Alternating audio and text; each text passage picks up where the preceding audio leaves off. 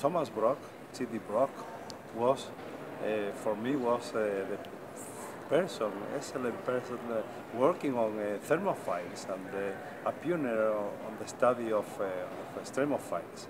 And also I would like to cite Carl Woese. Professor Carl was for me, I, I followed him when I was a student at the very beginning.